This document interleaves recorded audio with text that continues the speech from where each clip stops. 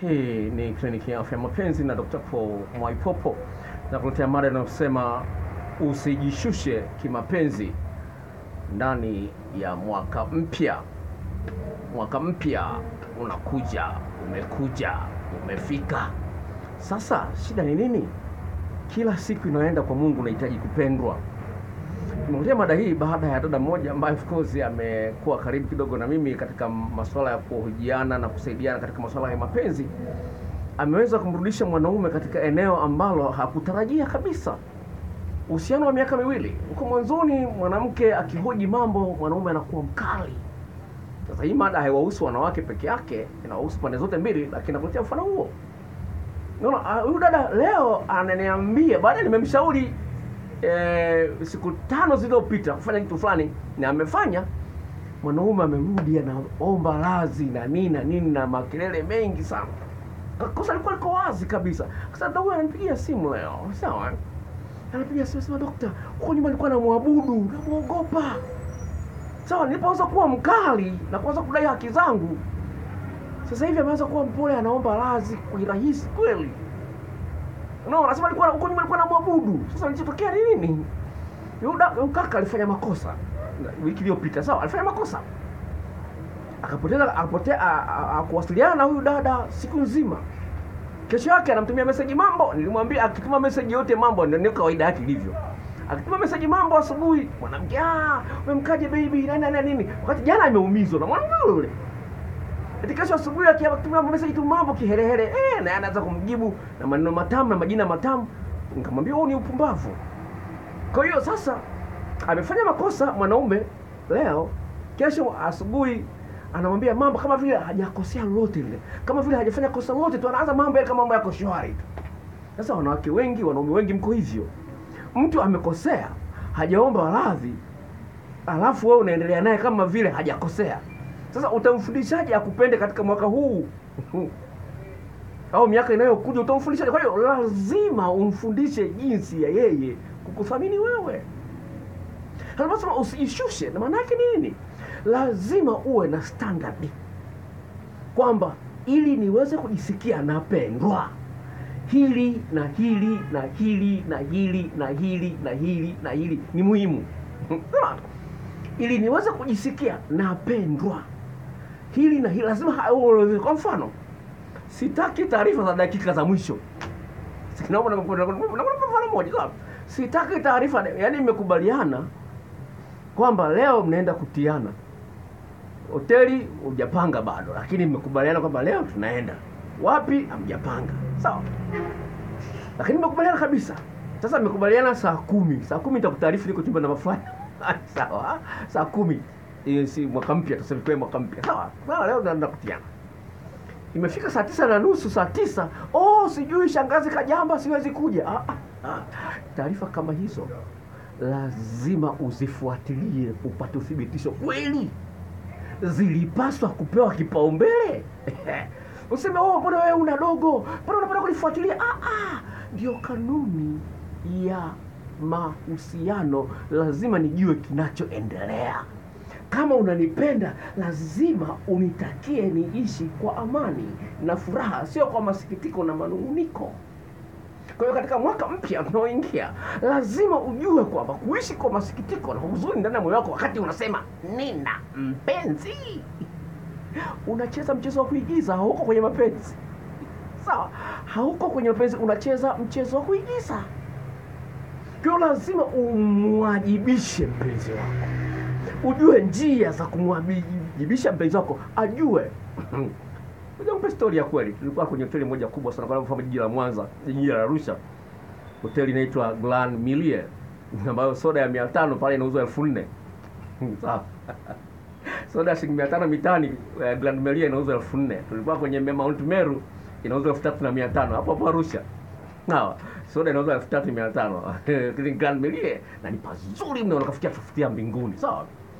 Sasa tunaenda outing, tumefika pale. Ah, palipokuwa pazuri yani pazuri kweli yani. Sasa napenda upige picha nipaze post Instagram na nini na nini na kwenye Facebook. Ah, Na mwangalia mke wangu hajapaka lipstick. Nikamwambiaje? Nikamwambia wewe unatolewa outing. Tena mwanangu na gauni jipya.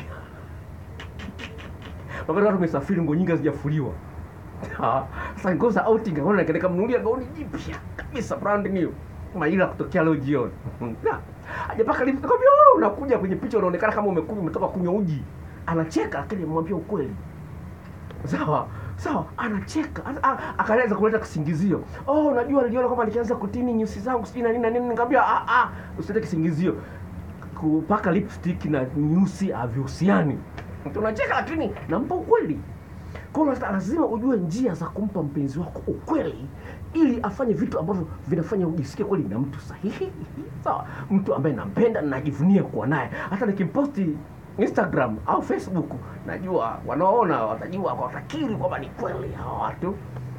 Happy people sawa. So hiyo lazima ni wimbo ambao unapiga wakati tuko pale na Grand Melia. Inaitwa happy people. Nikachukua jina zuri kwa. anyway all all ni kwamba ni jambo la msingi fahamu kwamba uwe na viwango vya mapenzi ambavyo unavihitaji katika mwaka mpya unaoingia. No, sitaki ubize na simu nikiwepo. Unakuwa bize na simu wakati mpenzi wako yuko hapo. Unamweza kwamba mpenzi wako hana thamani. Sitaki vitu kama hivyo. Lazima nione unanipa kipaumbele mimi. Sawa? Sawa? Vitu kama hivyo kwani sitaki kukaripiwa sawa sitaki kukaripiwa unikaripia mimi mtoto mdogo. Unajua nini? Katika pointi kusema ya kusema kwamba usijishushe. Ni kwamba unaamini kwamba unastahili kupendwa. Na ni haki yako kupendwa.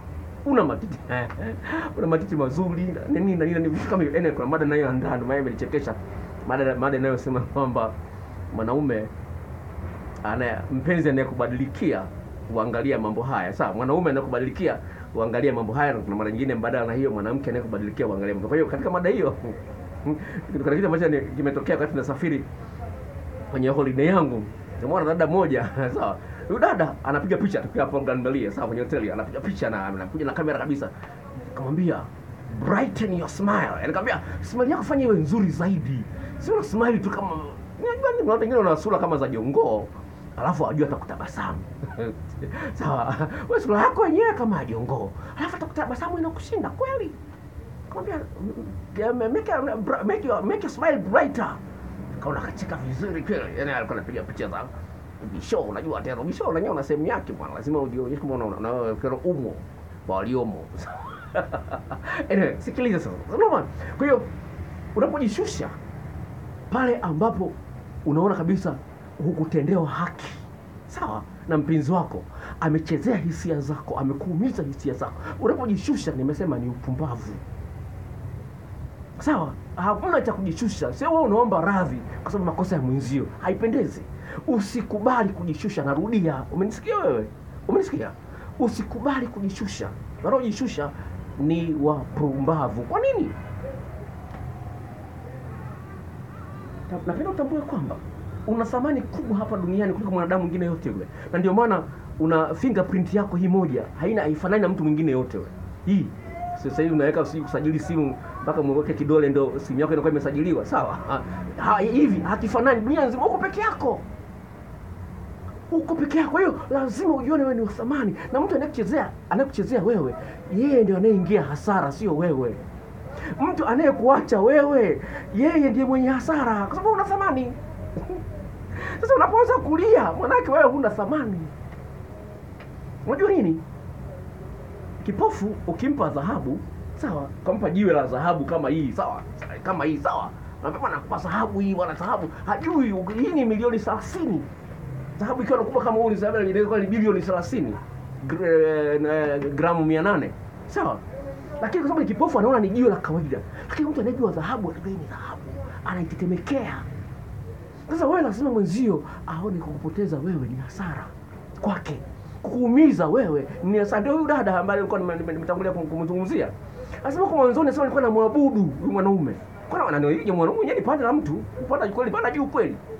Sawa ni- namfahamu mwanaume mwenyewe. Sawa. Sawa mfanya biashara mkubwa kidogo. Sawa napanda juu kweli. Anasema nilikuwa namwabudu kani nilipoanza na mimi kuonyesha jeuri Eh, siku hizi hata nikimkaripia hasa hata hata nikimkaripia anakuwa mpole. Unaweza kuona. kwa hiyo shida ni kwamba unaogopa kufanya vitu sahihi kwa sababu unafikia utaachwa sio kwa sababu utapigwa kwa sababu hujithamini wewe mwenyewe. Kwa hujithamini jithamini mwenyewe sawa?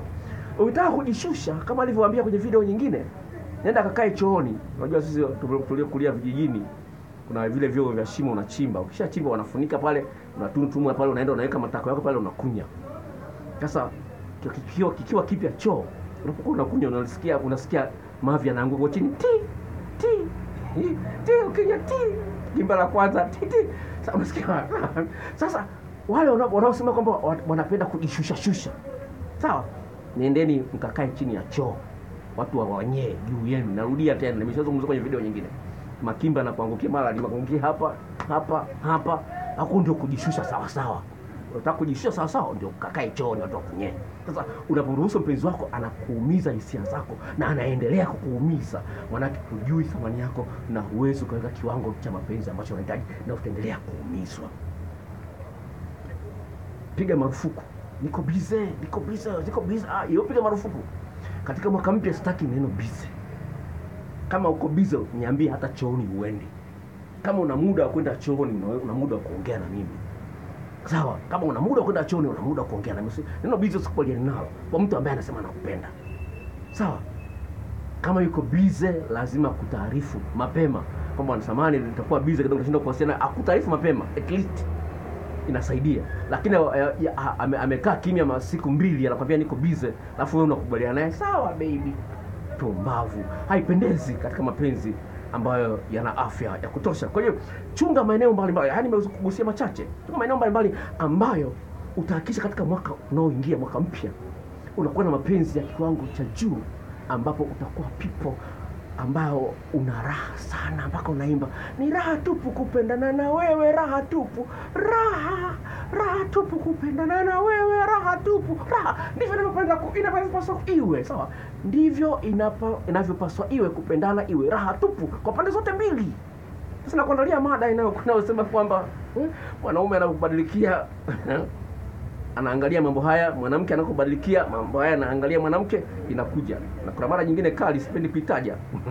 Kali sana kwa wanaume peke yao inakuja. Kwa hiyo jisajili kama hujisajili jisajili. Kuna kibox kibox chekundu pale kimeandikwa kwa maandishi meupe subscribe. Bofya pale. Sawa kisha bofya kuja maelekezo ili nitakapokuwa nimeweka video mpya upate taarifa haraka sana. Namba yangu ya simu kama ukipenda ushauri kuna gharama zake shilingi elfu tano. Namba ya simu ni ifuatayo 0754 03 99 94 0754 03 99 94 narudia mara ya mwisho. 0754 03 99 94 naandika hapo chini kwa faida yako na mungu akubariki. Bye